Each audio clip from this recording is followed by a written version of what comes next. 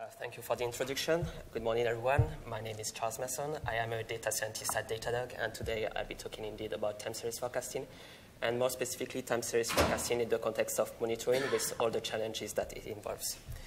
So I'll start by saying a few words about Datadog to give you some context, and then I'll go through the whole process of designing a forecasting algorithm, uh, starting with identifying the use cases we're, we're focusing on, uh, the problems we're trying to solve, uh, identifying the challenges we have to tackle, looking at the literature and at what we can find there that could also help us solve the problem.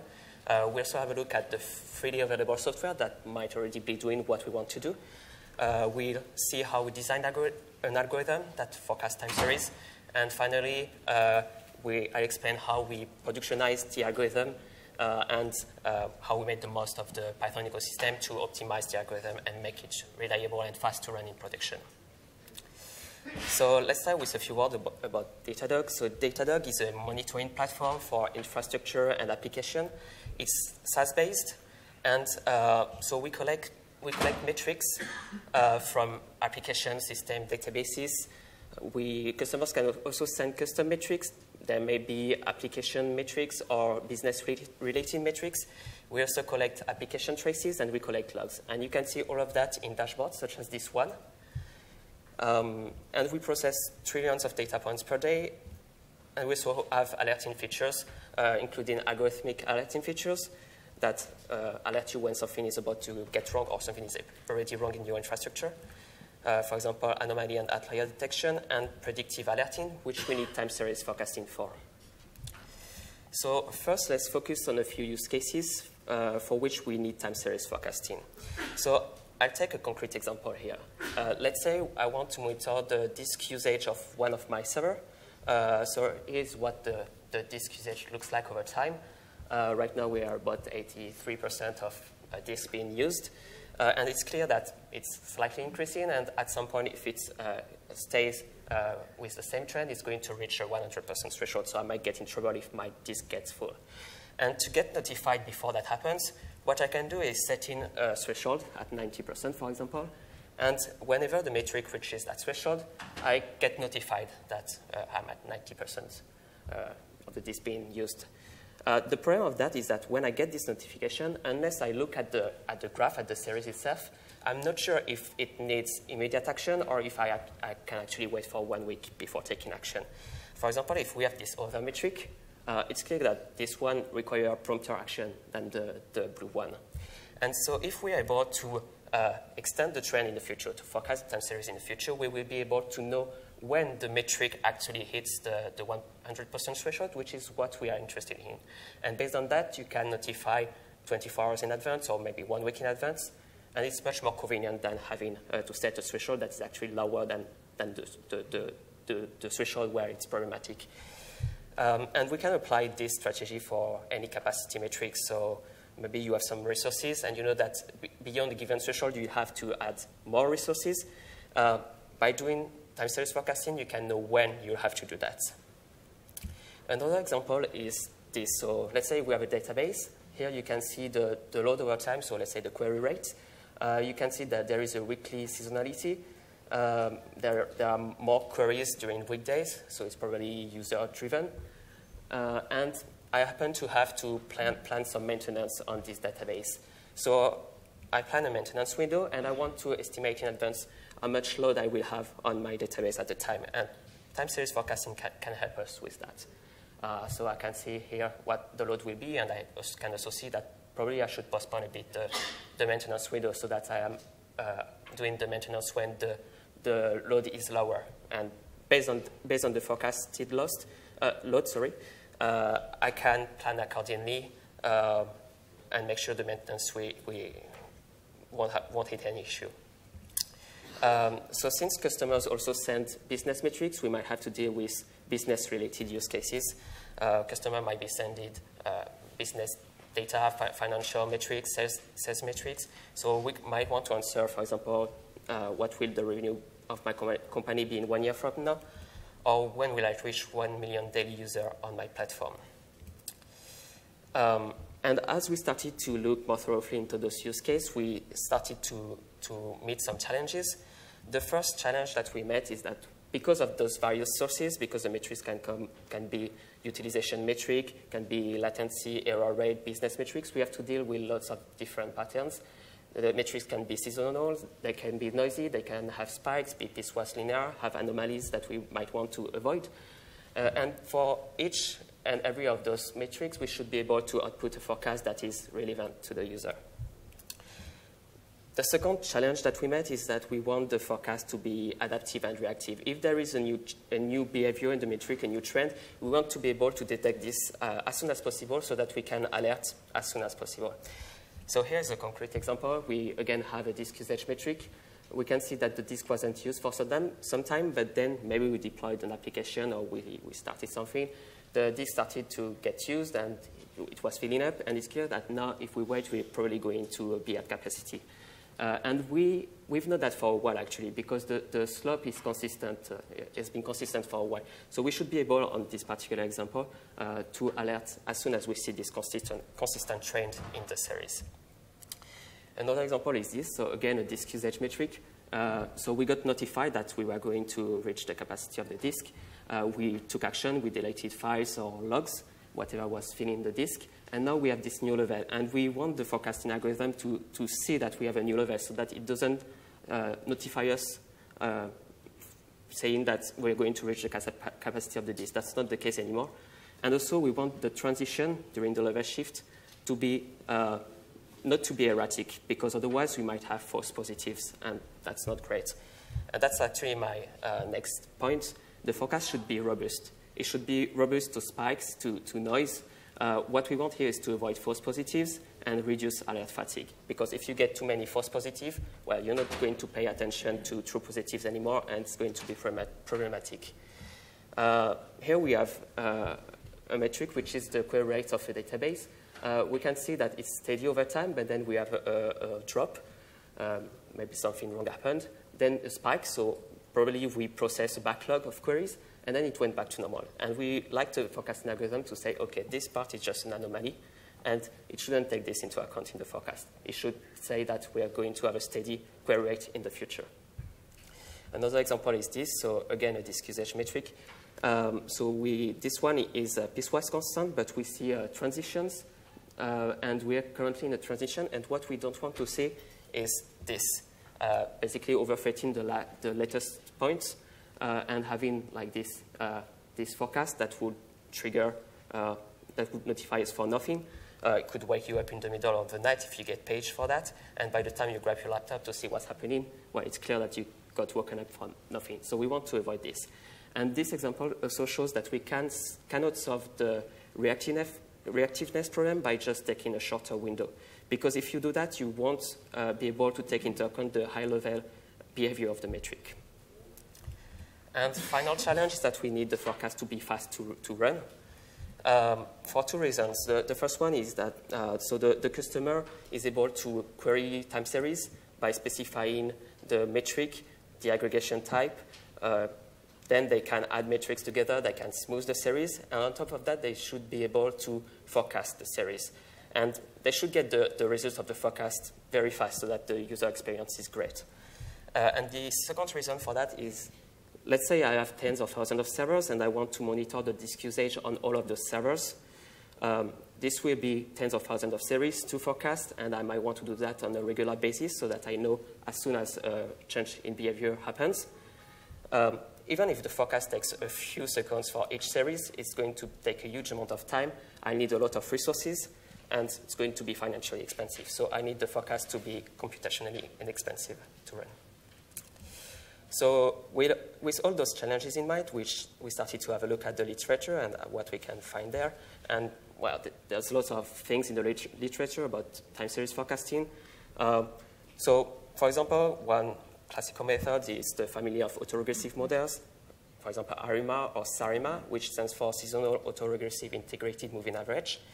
Uh, so autoregressive means that the current value of the series depends linearly on the previous values of the series.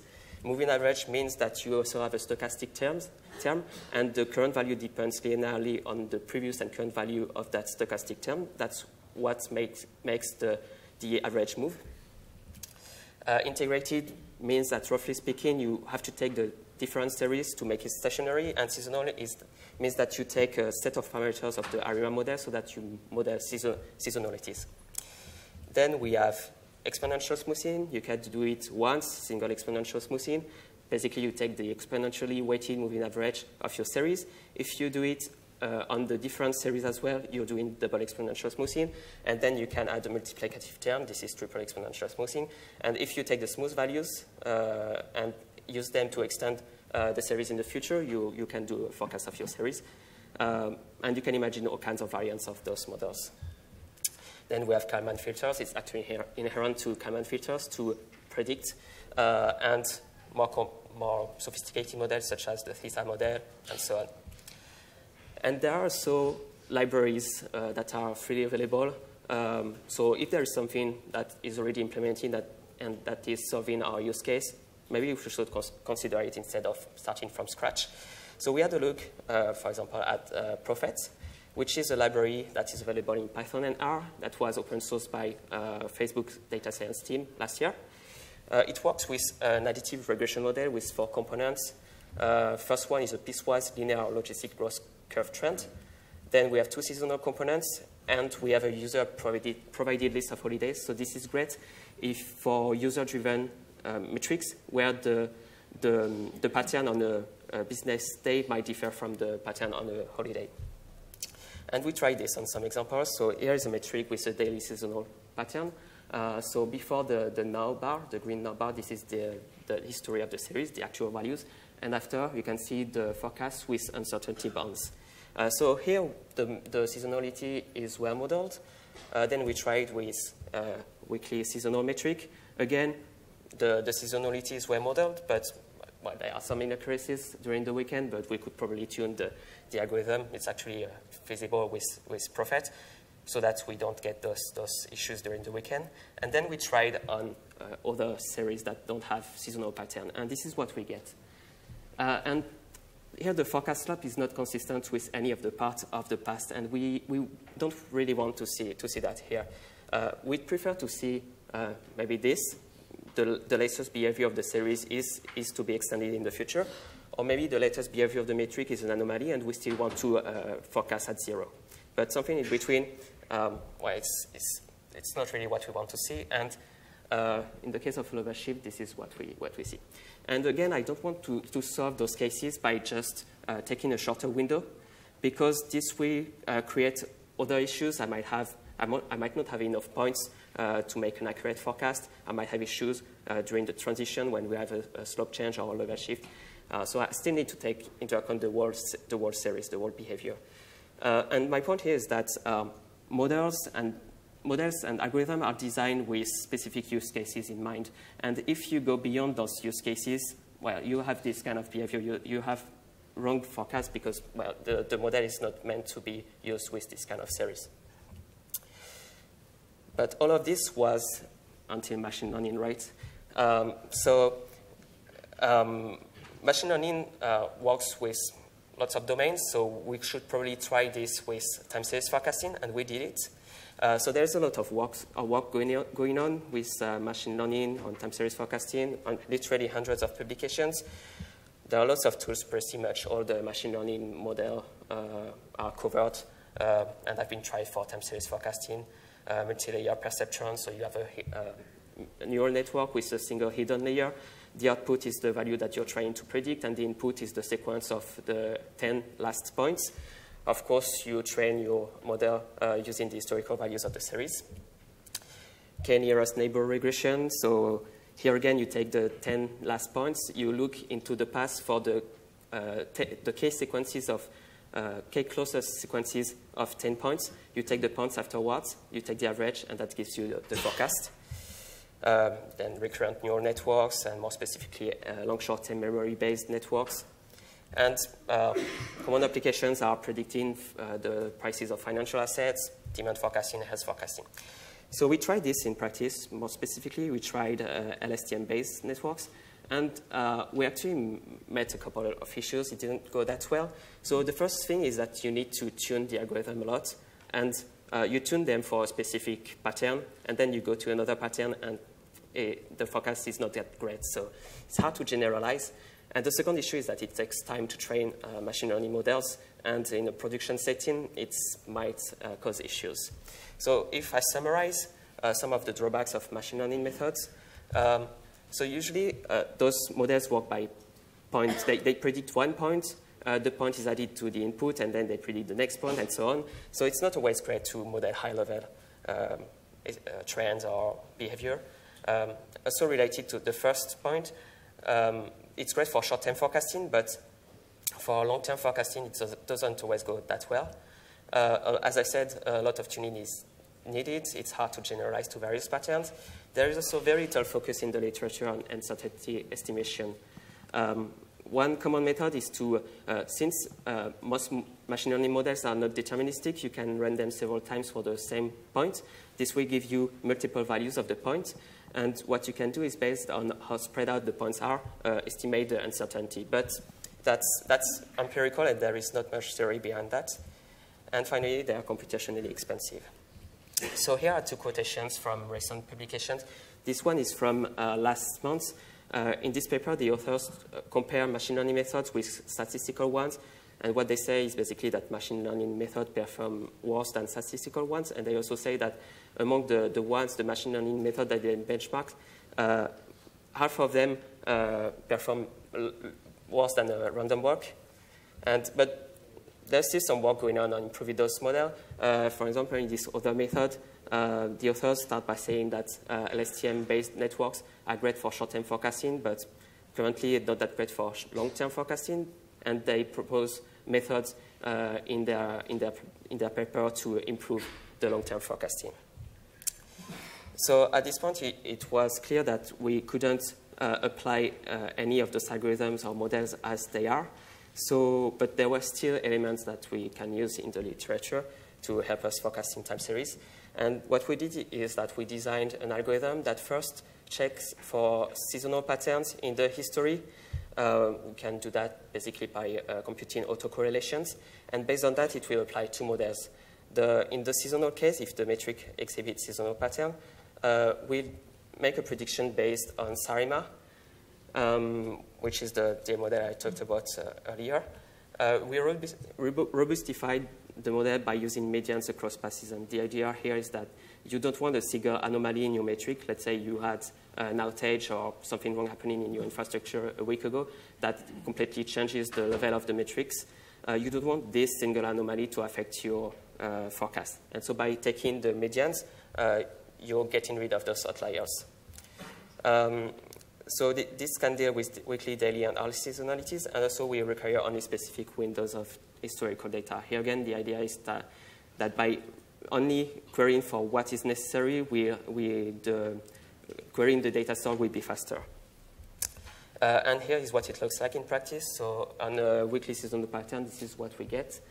Uh, and on a daily seasonal metric, we, this is what we, what we get. Um, however, this doesn't work well. This method doesn't work well with non-seasonal cases when we have metrics that is like that, for example.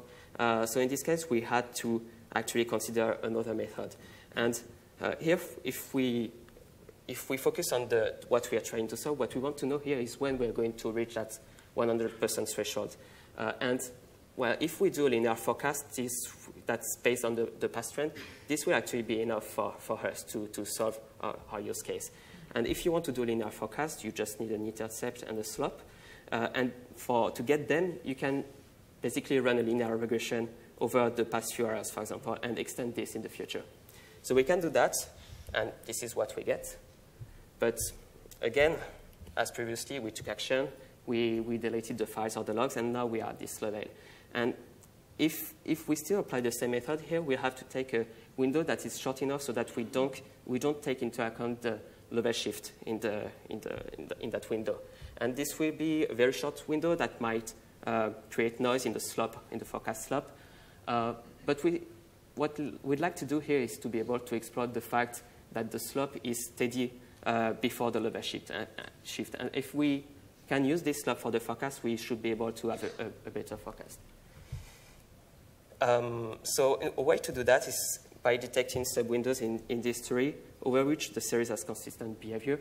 Uh, when I say consistent, it's basically linear behavior. Uh, so here you can see three such subwindows. And to know if a subwindow, uh, if the, the, the, behavior of the metric over a subwindow uh, is consistent, is linear, you can basically run, run a linear regression uh, and compute the mean squared error, which tells you how good the, the fit is. You could use another indicator, but the mean squared error uh, solves our case here. Uh, and on those two subwindows, so A and B, uh, B includes the level shift, and we can clearly see that the mean squared error is much higher uh, than for A. Uh, so that's why we should uh, favor the window A over the window B here.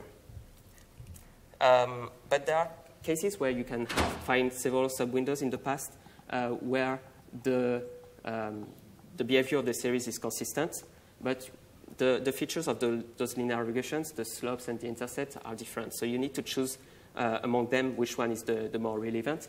And to do that, we introduced two other criteria. Uh, for example, if you consider A and C here, C is uh, further away in the past, so we should favor A over C.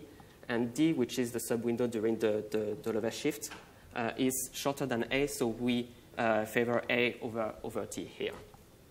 And so we have three criteria, uh, goodness of fit, time in the past, and subwindow length. We, we turn them into weights, and then we basically take the weighted medians of all the slopes and all the intercepts, and we use the weighted median as the forecast slope and the forecast intercept. And this is what we get. So here we are able to use the slope before the level shift to get our forecast. And most importantly, during the transition, there is no erratic forecast. Uh, so there is no like a forecast that goes high or those weird things. Uh, we can see that it stays at a high level for a bit of time after the level shift, because at that point, it might still be just an anomaly, and then the metric is going back to the normal behavior. And after we show that this is actually the, the new uh, behavior of the metric, then the forecast uh, uh changes. Uh, we can also apply that to a slope change, and again, we see that for some time, we're not sure whether this is an anomaly or this is the, the new behavior of the metric, so we're still forecasting at zero. And then we forecast the, the, new, the new slope. Can apply, uh, apply that to a, a, metric with an anomaly. Uh, and here, the forecasting algorithm basically ignores the, the anomaly. And finally, on a metric with a seasonal pattern, so here we don't uh, apply the, the non-seasonal case, we apply the seasonal case, which is by base and we get a, a, a forecast that is uh, stable enough. Um, so we, we now have our algorithm, but there's something I didn't talk about, which is uh, how many, which set of subwindows we're considering in the non-seasonal case. And it's clear that there is a trade-off here between uh, speed and accuracy. If I consider a lot of subwindows, I will probably have an accurate view and an accurate forecast, but it will probably take takes time to, to, to run. So I need to know how many windows I can consider and how many linear regressions I can run in my algorithm. And for that, I need to estimate how much time it takes to run linear regressions in Python. And so we set up a very small benchmark. Uh, basically, we generate two arrays, two NumPy arrays here with uh, 300 elements in each of them. X represents the timestamp, timestamps, and Y represents the values of the, the time series. And then we have this subwindow bounds function, which basically generates the, the, the bounds of all the possible subwindows within the array. So we're taking the, the worst case here, where we actually use all the subwindows that we could use. And if we benchmark this on a few uh, common libraries, so we can start with NumPy, uh, it takes 3.5 seconds. If, if we use NumPy polyfit, uh, it takes uh, 5.8 seconds. Then SciPy, 12 seconds statsmodels, 15 seconds. Um, we could also use scikit-learn, which actually calls uh, SciPy linearly square, which ends up calling the same LAPACK code as NumPy least square, so we would have a similar uh, time for, for, for this. Uh, and at this point, it's clear that we, we, we won't be able to consider all the, all the sub-windows and run linear regressions uh, on, on all the sub-windows uh, because it's going to take too much time. But uh, since we run least square regression, we can actually do something else. We can run them algebraically, so with uh, addition multiplications. Um, so it's a bit formalized, but what, what's important here is that basically, if you define SPQ as being the sum of the x to the power p, y to the power q, you can compute the slope and the intercept this way, beta and alpha, beta being the slope and alpha being the intercept here. And so you can very basically implement this in Python. It's just a few lines of code. Uh, so you have the SPQ, uh, beta, and alpha. Those are the pure transposition of the formulas of the previous slide. And if you benchmark this, this is what we get, uh, 1.5 seconds. So it's a bit better. The previous best one about 2.7 seconds, I think, uh, but still not that great. Uh, but if we start looking more thoroughly at what we are doing here, um, so we're looping over all the sub-windows, and we are, um, for, we are computing the linear regression for each sub-window independently. Uh, we call this function on with i and j, which are the bounds of the sub-window. And if I, uh, and here, so I have, I defined the, the SPQ for each i and j, but what I could do is work in with matrices, uh, so basically having uh, uh, big matrices with, uh, that contains all the SPQ for each sub-window, which we can also write this way. So from a mathematical point of view, I'm not changing anything here. We're doing exactly the same calculation. But from an implementation point of view, here we could use NumPy arrays. And when we use NumPy arrays, uh, we can actually use NumPy functions to uh, generate those, those sums. Uh, so we chain three NumPy functions, as we do here. Now the SDict uh, contains uh, uh, matrices instead of single variables. beta and alpha are calculation on matrices, and as you know, when you do algebraic operations on NumPy arrays, you're doing them element-wise. And finally, we return alpha and beta, which are the, the matrices of all the intercepts and the slopes. And when we run that, we get this, 5.7 milliseconds. So we're now running uh, uh, tens of thousands of linear regressions in Python with a few lines of code uh, in 5.7 milliseconds. So it's much faster than what we had previously. And the secret here, well, it's not a secret, but it's just that we're making the, the most of NumPy, basically. Um, so as you know, NumPy, beyond the fact that uh, it has a lot of convenient fu functions, it's, it's a library that was written for performance. Uh, a large part of NumPy is written in C, and by using NumPy, you're doing a low-level computation instead, instead of doing the computation in Python, so you avoid some overhead. We also have spatial locality the NumPy arrays are, are, stored in contiguous blocks of memories. So uh, when the CPU retrieves the, the data, the, the, data in the array to run the algebraic operation, you uh, fetch in fewer cache lines, so it's, it's taking less time. And also because of the previous point, you can make the most of vectorized instructions.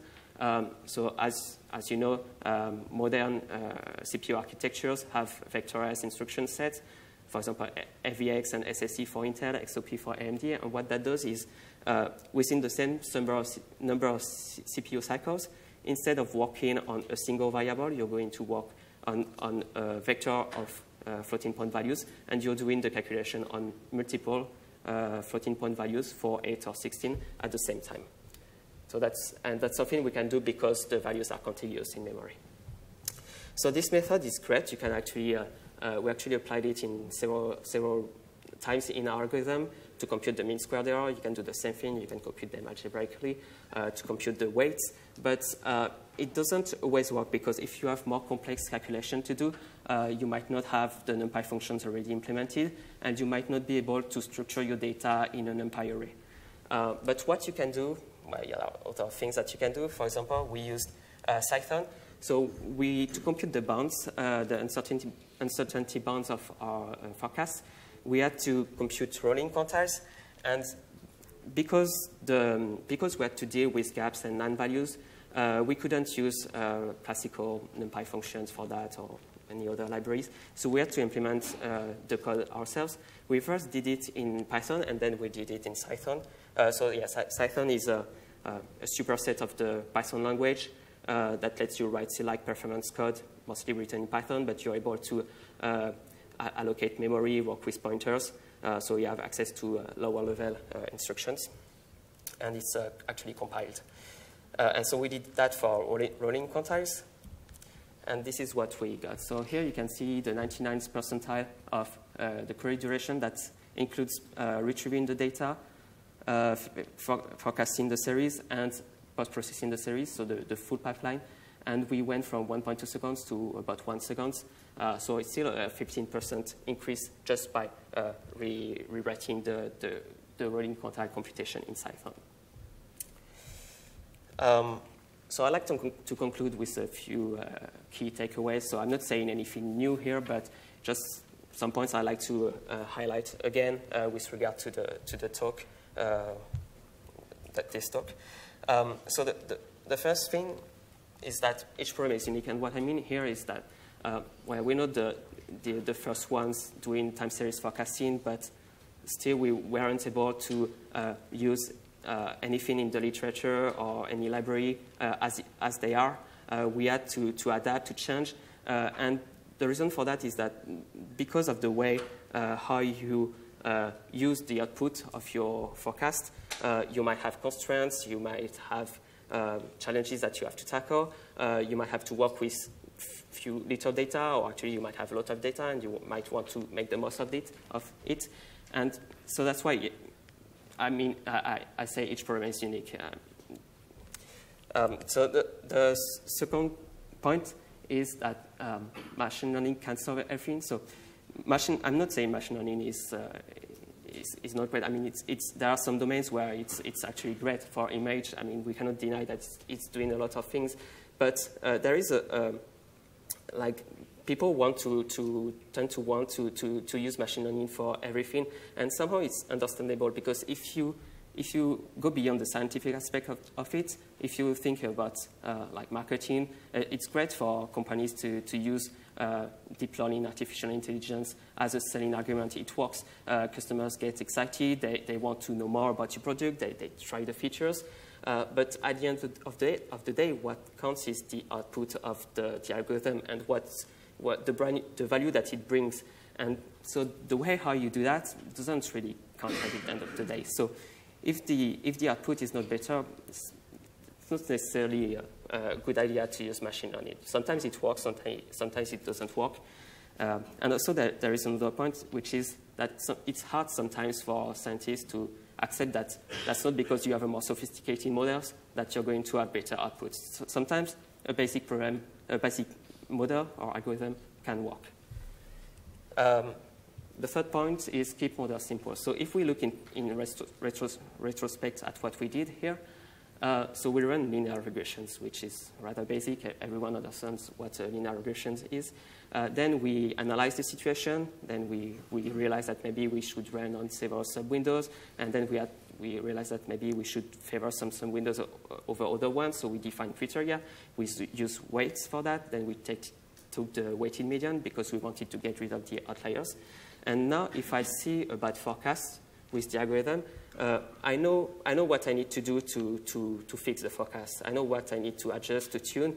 Uh, and if I worked with LSTMs, for example, uh, well, I'm not, I'm not sure I fully understand even how a single LSTM works. I mean, from a theoretical, point of view, I might understand, but practically, I'm not sure I have the, the intuition needed to, to work uh, with LSTM, uh, especially when you actually work with a, a network of LSTM cells. Uh, and that's why, I mean, some, sometimes it's easier to have basic models that you can understand fully and that you can easily tune. And finally, the last point is that, um, so it's great to, to use Python to define algorithms, uh, to design them, to try them. It's very convenient to have lots of powerful libraries. And when it comes to productionizing the, the algorithm, where Python works as well. You can use all the Python ecosystem to optimize the, the algorithm to make it more robust, and you don't need to rewrite your code in any other language or any other technology. Uh, so that ends my talk. Uh, I'd like to thank the PyData team for uh, organizing the conference and inviting me here. Um, so if you're interested in working on challenging topics such as the one I talked about, uh, we have lots of open positions, so feel free to reach out.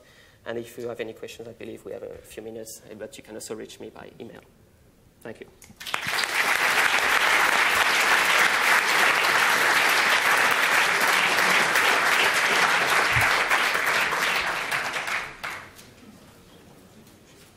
Any questions?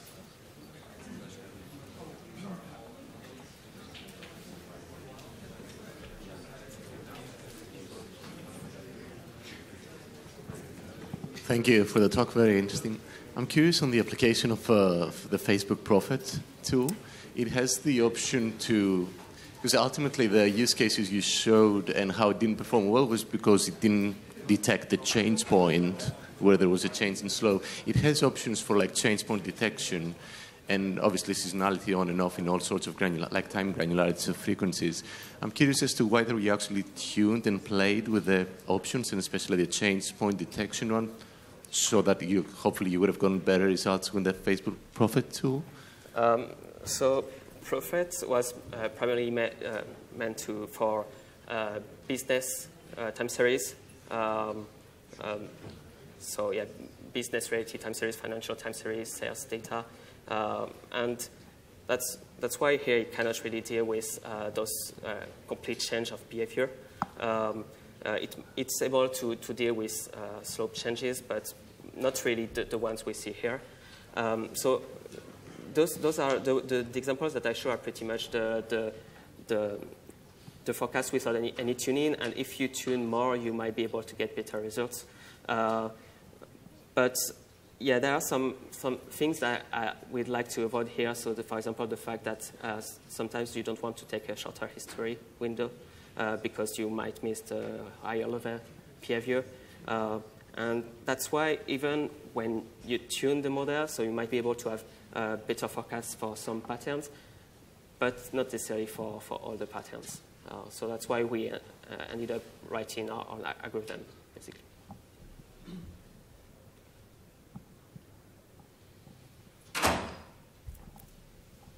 Hi, thanks. It was a great talk. But um, my question is, like, so use uh, Sarima for the bottom in that example there, yes. and uh, then it was just the kind of simple um, linear model for the, the top one.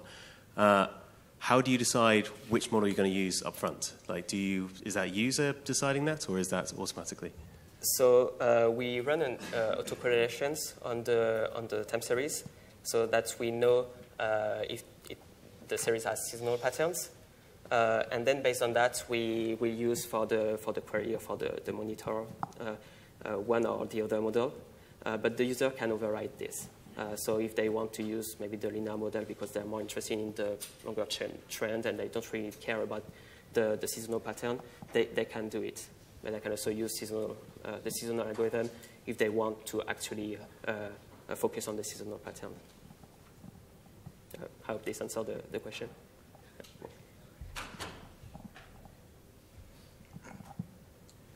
Um, for the top graph, um, how do you build the confidence interval around the um, linear?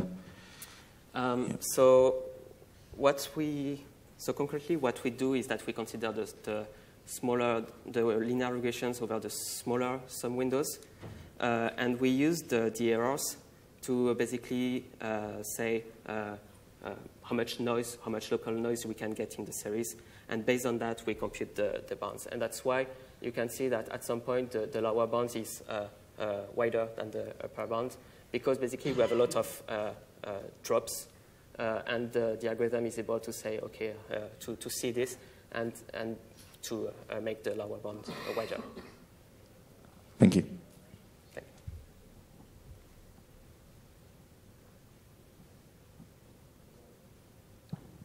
Hi, thanks for the talk. Um, can you please clarify how you uh, selected the sub windows? Because you could have an infinite uh, combination of them. So we're actually considering all the possible sub windows over her history. So if I want to predict, to forecast over the next week, I'll uh, use one week of data. And uh, with that week of data, let's say I have 300 points, I will consider all the possible sub windows and then I give them weights based on the three criteria I talked about, but I keep all of them. And uh, some of them we have very low weights if, if the behavior is not consistent uh, on them. Uh, some other we have high weights.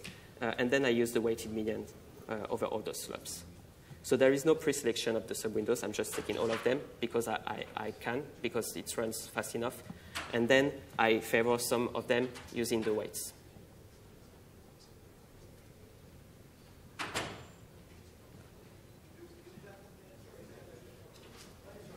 Hi, thank you for this talk. I'm wondering if you have any feedback uh, from the quality of the forecast, because I imagine I'm in the top case here, and let's say every Friday evening I have an anomaly, and so the feedback would be the, forecast is going to be worse for every Friday evening, and you might uh, choose like some kind of seasonal pattern for that. So are you talking about customer feedback, or rather feedback system that tells how good the, the, the Yeah, forecast is. or, or suggesting, oh, you use like some kind of linear model. Maybe you should use a seasonal.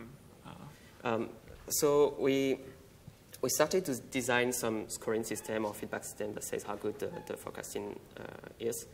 Uh, the problem is that um, it's actually hard to come with a scoring system that is good enough for, for specific use cases. Uh, and for example, when we take the, if you take the, the example of the disk usage metric, sometimes you want to, to forecast that is going higher, but most of the time, the, the customer actually takes action and delete files. Uh, but you don't want to, to, to say that it's a bad forecast if, if, you, if you don't actually predict that it's going lower. So we started to design a scoring system with a way to get feedback. But at the end of the day, we, we were tuning the scoring system instead of tuning the algorithm itself. Um, so yeah, we, we, actually took a rather pragmatic uh, approach where we uh, looked at the forecast on a few problematic examples, uh, so tens of them, uh, and we wanted forecast to be good for all of them. Uh, and this, then we, we saw that uh, it generalized well to, to other series. That's all the time for questions. please take other questions offline. Thank you so much.